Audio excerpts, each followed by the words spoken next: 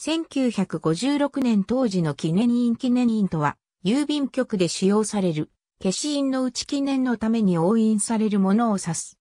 記念印には、用途別に、特印、初日印、風景印、小型印の4種類が存在する。いずれも、郵便局名と押印年月日が表示される正規の消印である。通常の消印とは異なり、押印してもらうためには、郵便窓口等でその旨を希望する必要がある。特殊通信日付印は、記念切手の発行時や全国的な記念行事の際に使用される直径 36mm の絵入りの消印である。飛び色と呼ばれる赤茶色のインクで押印される。特印には手押しと押印機の2種類がある。手押しは1902年6月20日のバンコク、郵便連合加盟25年祝典記念絵はがきの発行時から、応印機は1995年3月3日の日本ブラジル就航100年記念切手の発行時から、それぞれ使用が開始された。応印のためには、使用局へ直接赴くか、事前に郵送で依頼する必要がある。詳細は、日本郵便ウェブサイト内の新着切手情報のページを参照のこと。1970年から1973年、初日印と同じ形の機械特印が一部の壺根で使用されていた。手押しは記念切手発行日から1週間、各局郵便窓口の開設時間内に使用される。応印は定例局に加え、発表時に指定された郵便局で行われる。応印機は記念切手発行日の9時から19時の間に使用される。使用局は次の通り。札幌中央郵便局、仙台中央郵便局、横浜中央郵便局、東京中央郵便局、日本橋郵便局、長野中央郵便局、名古屋中央郵便局、大阪中央郵便局、岡山中央郵便局、福岡中央郵便局。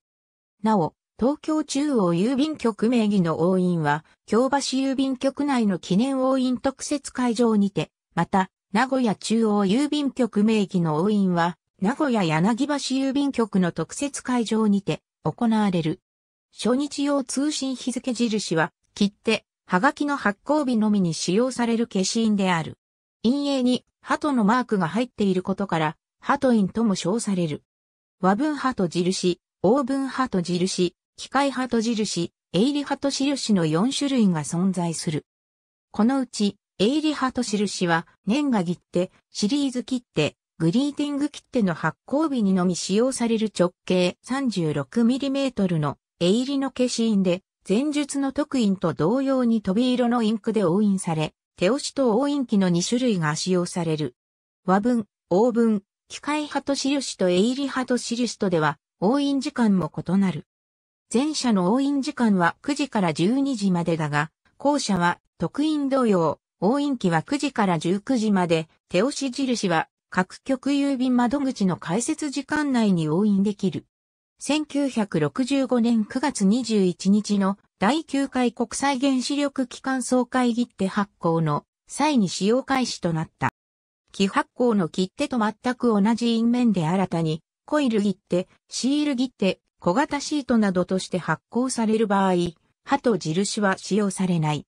官報の告示上は、これらは、木発行の切手と同じものとして分類されるためである。定例局に加え、発表時に指定された郵便局で押印が行われる。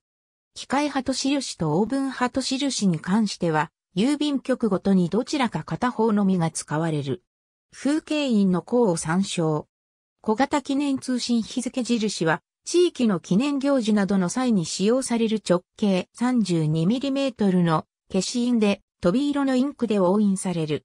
他の飛び色の記念印より小型であることと、イベントによって使用期間が異なることが特徴である。